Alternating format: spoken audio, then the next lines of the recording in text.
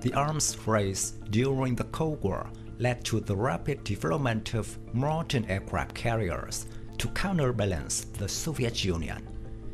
In Europe, Britain, France, Italy, and Spain were all working to develop their own aircraft carriers. For Spain, the result was the birth of the Príncipe de Asturias aircraft carrier.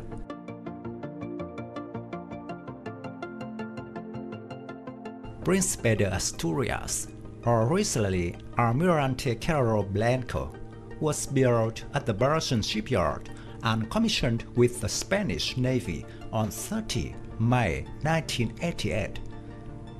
She was officially decommissioned in February 2013.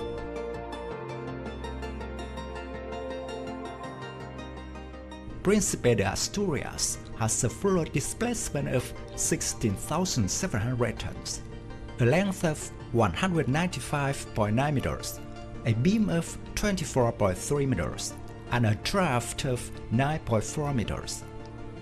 In terms of design, the Príncipe de Asturias was quite similar to the British Invincible class. She was fitted with a 12 degree ski jump ramp blended into the bow.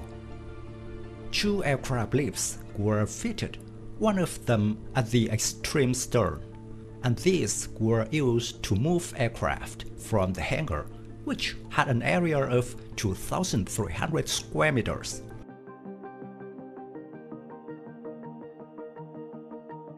The island superstructure was set aft of amidships and offset to the starboard side.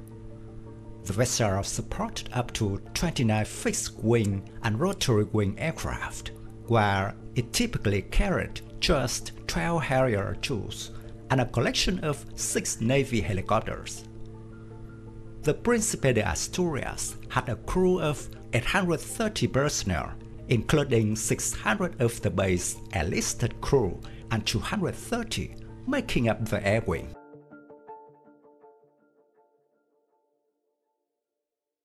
The full digital Tritan command and control system was fitted with the Link 11 and Link 14 data transmission terminals of the Naval Tactical Display System, and that was also the standard complex of air and surface surveillance radars, aircraft and gun control radars, and countermeasures both electronic and physical.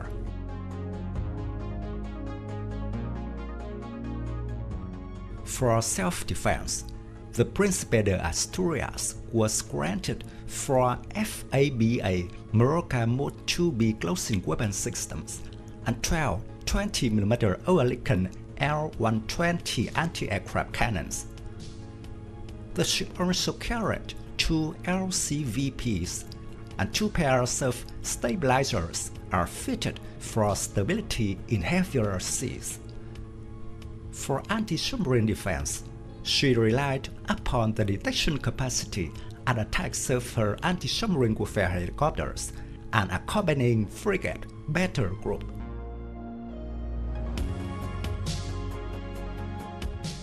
Propulsion was managed through two Bazan General Electric LM2500 gas turbines arranged in combined gas and gas configuration maximum speed was 26 knots in ideal conditions, with an operational range reaching 6,500 nautical miles.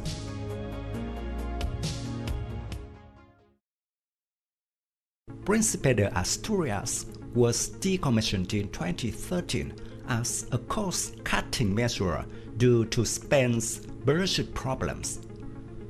Her successor was Juan Carlos I.